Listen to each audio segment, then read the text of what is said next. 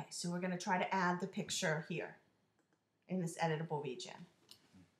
So I just put my insertion point there with the cursor, and then you'll go to uh, Insert, Image, and you'll pick the picture that you want. So we can just take this Mhm, one, mhm.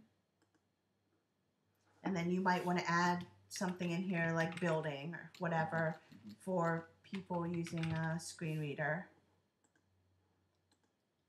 Okay. And then you might want to resize it. Mhm. You know, so let's say that we go ahead and just, I'll just take 10 off of it, you know, factor of 10. So there's Mhm. your picture.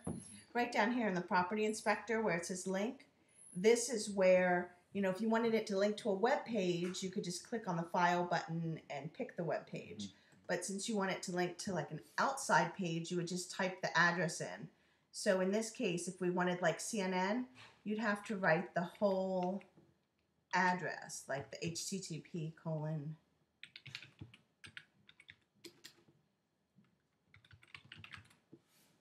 And so we'd write the whole address in there, or you could cut and paste it from the browser. And then we're just going to hit save. And then you can test it just by, huh, did we make a mistake? What happened to our,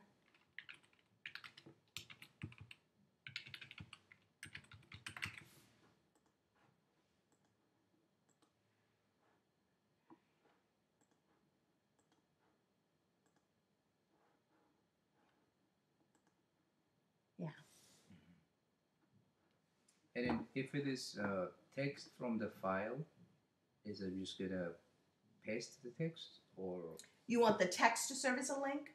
yeah, like if I have text in the file. Sure. So, like, So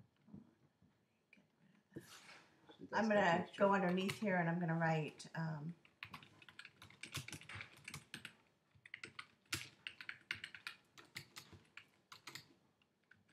you mean you want like this word sample to serve as a link? Oh yes. So you just select it. So we type the text, and then you just select the part that you want to be a link. So we just select that word sample, and then we're gonna go same down here to link, and we would just type it in. No, not the website as a link.